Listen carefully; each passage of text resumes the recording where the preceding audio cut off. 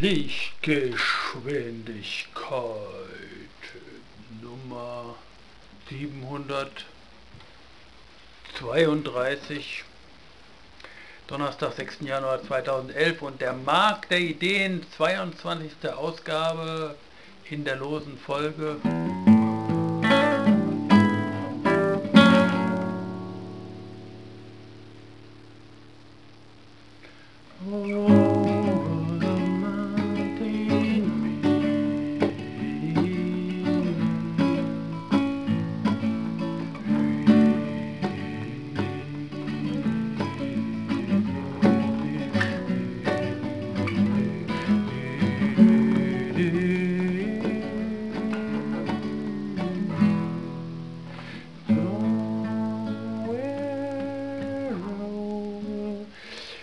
Das habe ich heute aufgegabelt und mir bei äh, Google herausgedruckt und Ukulele, also die Kunst, die gefragt ist. Dazu wollte ich ganz kurz etwas sagen. Ich rede überhaupt nicht von Kunst kaufen, Kunstmarkt, Kunst verkaufen, Umsätze machen, äh, Erwerbskunst und so, sondern ich rede ganz einfach davon, dass ein kleines Kind irgendwie Mickey Maus Filme Synchronisationsgequake von Donald Duck nachahmen kann und die anderen Kinder sagen, mach nochmal Dagobert. Und dann macht das Kind quakt und dann lachen alle und eine halbe Stunde später sagt wieder ein Kind, hier, mach doch nochmal Dagobert. Ja, das war dieser Witz von Otto Walkes, wo er also äh, an, am Ostseestrand entlang geht und er hört die Stimme äh, nach Travemünde. Und dann geht er nach Travemünde und die Stimme guckt nach oben und sagt, Graben und er gräbt und dann äh, buddelt die Kiste aus und Otto Walkes macht das also wunderbar vor und am Ende geht er ins Spielcasino und setzt und dann sagt die Stimme welche Zahl und dann verliert es und dann guckt er nach oben und sagt die Stimme Scheiße. Und dann erzählt einer, sagt, erzähl noch mal die Geschichte von Travemünde. Warum denn? Das meine ich mit gefragt sein wenn man also irgendwelche Besonderheiten kann, die einem auch Spaß machen und die andere Leute fragen, dann gibt es Hinweise auf eine Sonderstellung, die dann auch äh, ganz allgemein gesagt, vom Prinzip her, nur vom Verständnis, was ich meine, ähm, Anregungen gibt, was man mal äh, entwickeln kann, wo man eine Chance hat, eine Gefragtheit zu entfalten, ein Können äh, zu entfalten, einen Beitrag zu leisten, der von der Gemeinschaft gefragt ist. Und die geschäftlichen Sachen, Marketing und alles, was dazu gehört, das sind dann äh, ganz andere Aspekte, die ja auch diese Entscheidung ganz erheblich beeinflussen können. So viel nur äh, zur Kunst, die heute zu über 90 Prozent von Staatskassen äh, am äh, Subsistenzunterlimit gehalten wird und alle glauben, das sei die Kunst, weil der Staat eine solche Kunst als Polizeipolitik kontrolliert und eine andere Kunst wird überhaupt nicht gehandelt. Also ein Wandteppich für ein Entree einer Bank zu stricken, hat nichts mit Kunstmarkt zu tun. Das ist dann ähm, äh, Kunst am Bau oder, oder Ausstattungskosten, so wie das Reinigungspersonal oder die neuen Tapeten. Und ähm, das wollte ich eigentlich hier nur kurz äh, sagen. Äh, lese jetzt aus meinem schönen Text weiter der äh, uns sagt, dass wir nicht Frankreich mit Deutschland verwechseln sollen. Hier ist die Rede von Frankreich. Aber äh, es gibt doch eine ganze Menge Gemeinsamkeiten, denn wir sind ja hier in unserem Abendland und in unserer Europäischen Union und in der Katastrophe. Wir sind in der Katastrophe. Das ist die Hypothese hier. Wir steuern nicht in die Katastrophe, sondern wir sind bereits drin. Also heißt es hier, siebter Kreis. Hier wird ein zivilisierter Raum gebaut. Das erste weltweite Gemetzel von 1914 bis 1918, jenes, dem wir es zu verdanken haben, dass ein großer Teil des ländlichen und städtischen Proletariats uns auf einen Schlag vom Hals geschafft wurde, wurde im Namen der Freiheit, der Demokratie und der Zivilisation geführt. Anscheinend im Namen derselben Werte dauert der berühmt-berüchtigte Krieg gegen den Terror von gezielten Ermordungen bis zu Sonderoperationen seit fünf Jahren an. Die Parallele endet hier beim Anschein. Die Zivilisation ist nicht mehr diese Selbstverständlichkeit, die man ohne irgendeine Form von Prozess zu den Eingeborenen bringt. Die Freiheit ist nicht mehr dieser Name, den man auf die Mauern schreibt, da ihm nunmehr der der Sicherheit folgt, wie ein Schatten. Und die Demokratie ist, wie allgemein bekannt, in den reinsten Ausnahmegesetzgebungen auflösbar, zum Beispiel in der offiziellen Wiedereinführung der Folter in den Vereinigten Staaten oder dem zweiten Pervengesetz in Frankreich. Das ist ein Gesetz von 2004 zur verschärften Verbrechensbekämpfung mit dem Schwerpunkt organisierte Kriminalität. Innerhalb eines Jahrhunderts sind Freiheit, Demokratie und Zivilisation auf den Zustand von Hypothesen reduziert worden. Die ganze Arbeit der Herrschenden besteht von nun an darin, die materiellen und moralischen, symbolischen und sozialen Bedingungen zu schaffen, in denen diese Hypothesen halbwegs anerkannt sind und Räume zu gestalten, in denen sie zu funktionieren scheinen. Zu diesem Zweck sind alle Mittel recht, einschließlich der am wenigsten demokratischen, am wenigsten zivilisierten, am meisten sicherheitsbezogenen. Ein Jahrhundert lang hat die Demokratie regelmäßig bei der Hervorbringung faschistischer Regime den Vorsitz geführt, hat sich Zivilisation immer auf Extermination gereimt, die von Melodien Wagners und Iron Maidens untermalt wurde. Und die Freiheit hat eines Tages im Jahre 1929 das Doppelgesicht eines Bankiers, der aus dem Fenster springt, und einer Arbeiterfamilie, die verhungert angenommen. Man hat seitdem, sagen wir seit 1945, vereinbart, dass die Manipulation der Massen, die Tätigkeit der Geheimdienste, die Einschränkung der öffentlichen Freiheiten und die vollkommene Souveränität der verschiedenen Polizeieinheiten zu den spezifischen Mitteln gehörten, um Demokratie Freiheit und Zivilisation zu gewährleisten. Im letzten Stadium dieser Entwicklung haben wir den sozialistischen Bürgermeister von Paris, der letzte Hand an die urbane Befriedung legt, an den polizeilichen Umbau eines Arbeiterviertels und in sorgfältig abgewogenen Worten erklärt, hier wird ein zivilisierter Raum gebaut.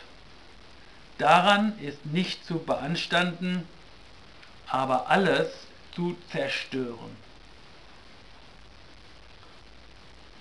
Hinter ihren Gebaren der Allgemeingültigkeit hat diese Frage nach der Zivilisation nichts von einer philosophischen Frage. Eine Zivilisation ist keine Abstraktion, die über dem Leben schwebt. Sie ist das, was die alltäglichste, die persönlichste Existenz bestimmt, besetzt, kolonisiert.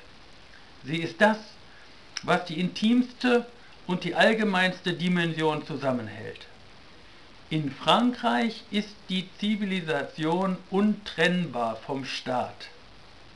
Je stärker und älter ein Staat ist, desto weniger ist er ein Überbau, das Exoskelett einer Gesellschaft und desto mehr formt er in Wirklichkeit die Subjektivitäten, die ihn bevölkern.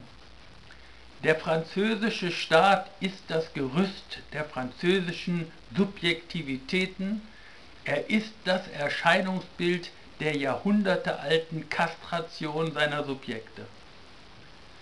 Danach darf man sich nicht wundern, dass man hier so häufig von politischen Persönlichkeiten ausgeht, wenn man in den psychiatrischen Kliniken die Welt deliriert, dass man sich einig ist, in unseren Führern den Ursprung all unserer Übel zu sehen, dass wir so gerne über sie meckern und dass diese Art zu meckern der Beifall ist, durch den wir sie als unsere Herren intronisieren.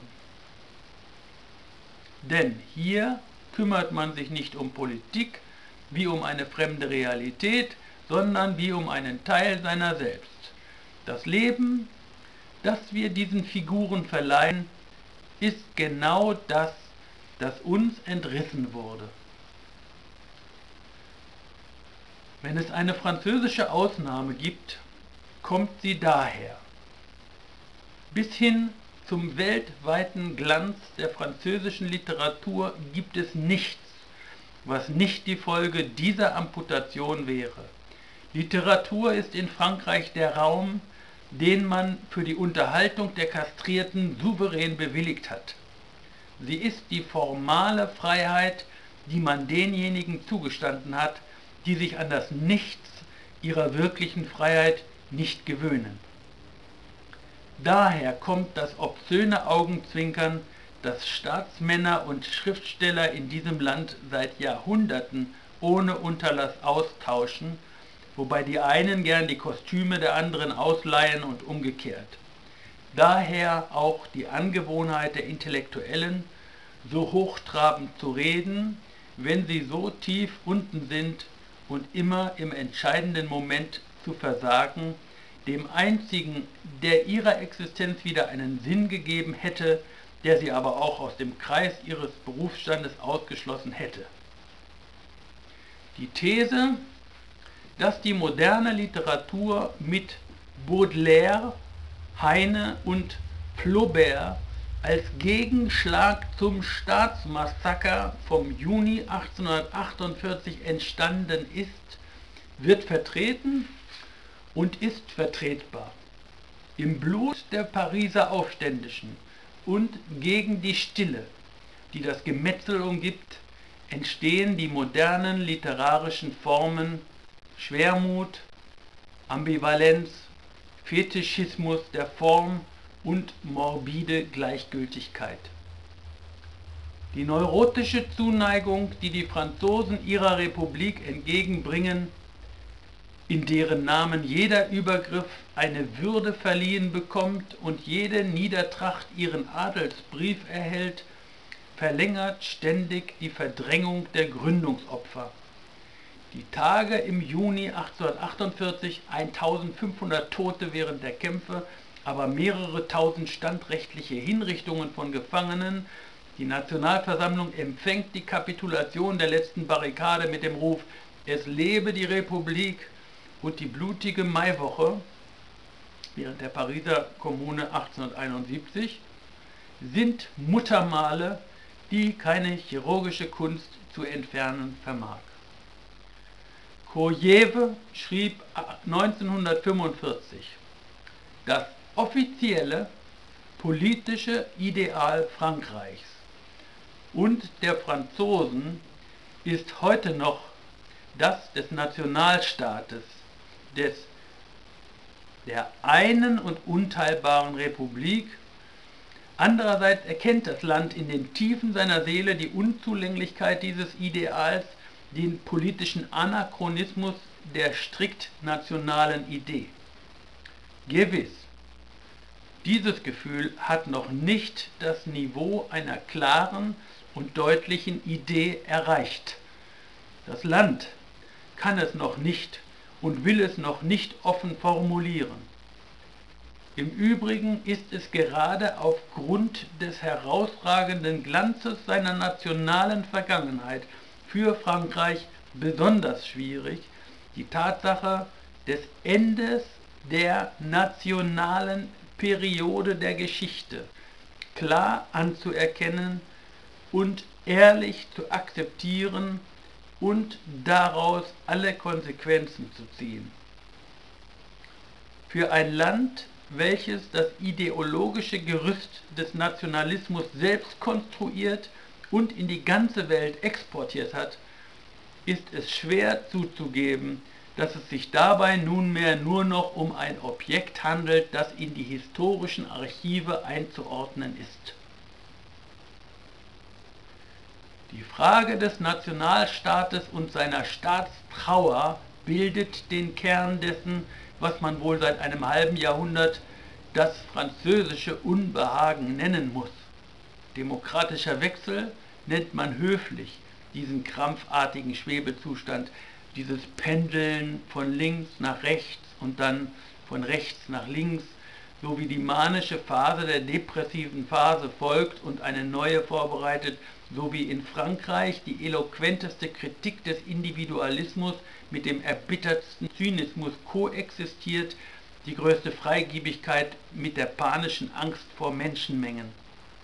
Seit 1945 hat dieses Unbehagen, das sich nur zugunsten des Mai 68 und seiner aufständischen Feuers aufzulösen schien, immer weiter vertieft. Die Ära der Staaten, der Nationen und der Republiken geht wieder dem Ende zu. Das Land, das ihnen alles, was es an Lebendigem enthielt, geopfert hat, ist sprachlos. An dem Brand, den der einfache Ausspruch von Jospin, ehemaliger sozialistischer Premierminister in Frankreich, der sagte, der Staat kann nicht alles, gelegt hat, erahnt man, was früher oder später die Offenbarung hervorbringen wird, dass er gar nichts mehr kann. Dieses Gefühl reingelegt worden zu sein, wächst immer weiter und wird brandig. Es begründet die latente Wut, die bei jeder Gelegenheit hochkommt. Dass das Trauern um die Ära der Nationen nicht stattgefunden hat, darin liegt der Schlüssel des französischen Anachronismus und der revolutionären Möglichkeiten, die er in Reserve hat. Danke für den Aufruf und nächste Folge kommt.